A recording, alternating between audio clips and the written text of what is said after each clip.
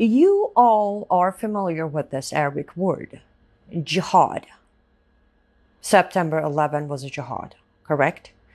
Or when a guy is um, screaming and shouting Allahu Akbar while blowing himself up, or running into the crowd with a knife to behead you, it's jihad, correct? However, if you ask a Muslim to explain the meaning of jihad or to tell you what jihad is, you get a very complex, confusing description and explanation. For example, some of the popular ones. Um, jihad is only a defensive war, or, well, only a caliph, the highest level of Islamic society leader can call on a jihad. Um, or, better yet, these crazy guys committing terrorism against non-Muslims have nothing to do with Islam or they misunderstood Islam. Or my very favorite, jihad is an internal struggle. You know, I gotta get to the gym every day. I gotta keep my body in a good shape every day. I have to be healthy every day. I have to be on my best behavior around other people every day. This is jihad.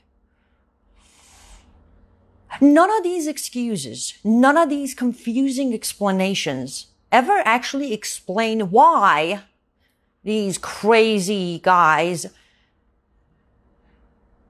commit terrorism and kill innocent people while shouting Allah is the greatest. But well, I will explain it for you today. I will explain the excuses and I will explain how jihad, the word jihad, has been repeated 108 times in Quran, which is words of Allah, with description of killing non-Muslims committing jihad against us, the non-Muslims, to conquer us. I will explain how Allah has mentioned in the Quran that as a Muslim, it is your duty to kill non-Muslims. 14 centuries of Islamic history has proven that Islam conquers through jihad not the fancy jihad description you hear from Islamic societies or Islamic centers or Muslim leaders, but the true meaning of Islamic jihad. Let me start from here. Where does the word jihad come from? It comes from jahd.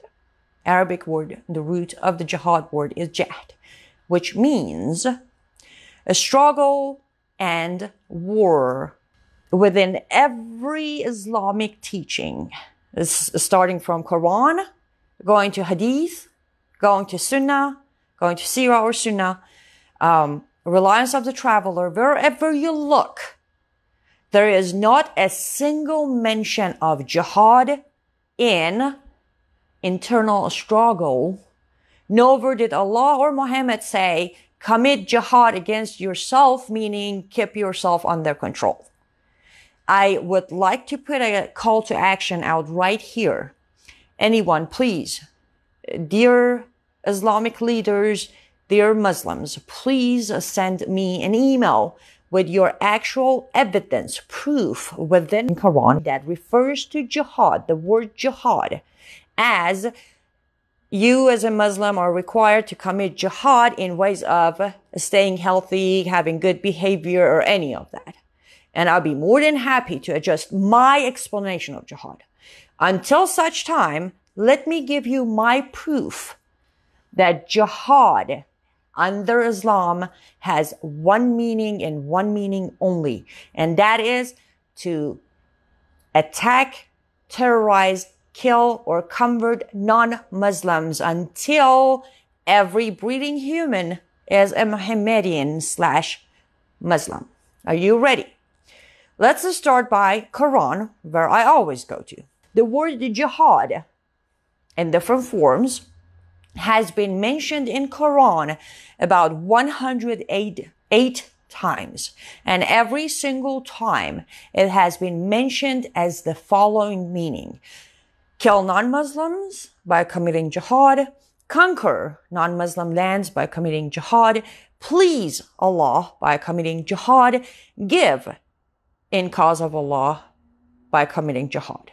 These are the only times, these are the only meanings behind every time jihad has been mentioned in Quran, which I said is 108 times. Now, um, uh, obviously we don't have time to go over 108 chapters of Quran right now, but let's go over few of my favorites, which are simple, no way to twist it, no way to misunderstand it, no way to translate it wrongly.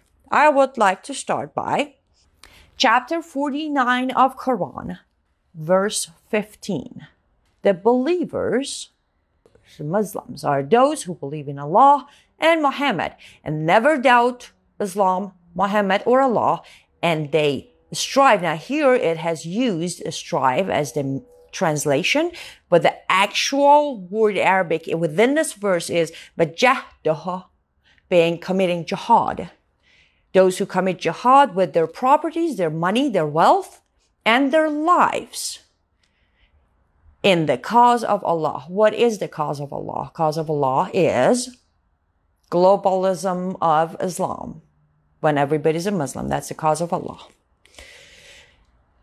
Simple, as I said, simple. Simply explains who Muslims are. Nowhere in this sentence does it say Muslim are those in good body shape or those who verbally say the good thing or those who catch eight hours of sleep for, you know, beauty rest.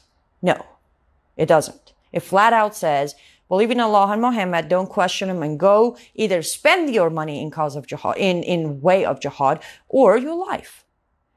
To me, that's pretty simple, to the point. Now let's do another one shall we? To just make sure why Allah really, really cares for jihad. Let's go to chapter 4, verse 95. That is chapter 4, an-Nisa, the woman, verse 95. It does say, not equal are those believers remaining at home other than the disabled and the mujahideen Mujahideen coming from jihad. Mujahideen are those people who commit jihad in the cause of Allah with their wealth and their lives. Again, translation. Those who stay home, the Muslims who stay home are not equal to Mujahideen. Muslims who stay home are not the same in eyes of Allah as mujahideen. Now, how did it describe the mujahideen again? Those who strive and fight in the cause of Allah with their wealth and their life. Financial jihad, war jihad. I have covered this before. So you become the favor to Allah as a Muslim if you are committing jihad using your money, wealth, property, or life right? Again, just two verses. Just two verses, that's all. Again, Quran is a pretty big book, remember? Only two verses.